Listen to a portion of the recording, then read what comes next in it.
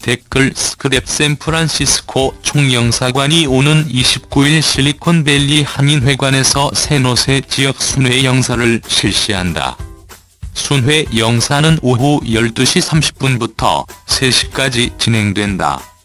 SF 총영사관은 민원 업무 처리를 위해 여권, 영주권 사본 등 관련 서류를 미리 준비해오면 접수가 신속하게 처리될 수 있다고 밝혔다. 민원 신청과 관련된 서류는 SF 총영사관 홈페이지를 참조하면 된다.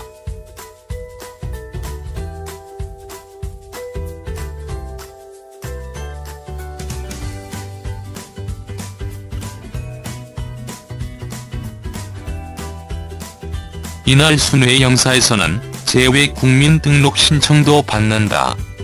90일 이상 외국에 거주하는 한인들은 총영사관을 통해 재외 국민 등록을 해야 한다.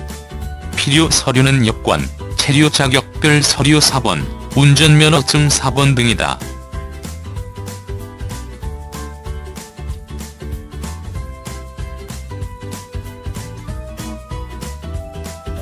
또한 안일용 공인회계사, 최홍일 변호사, 카밀청 SV문화원장, 최성우 전 부동산 융자협회장 등이 참석해 법률, 세무, 부동산, 교육, 이민법 관련 무료 상담을 한다.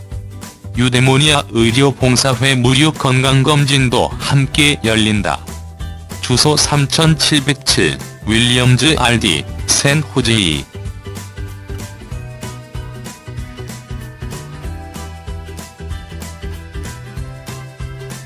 문해 SF 총영사관 415-921-2251 최정현 기자 스크랩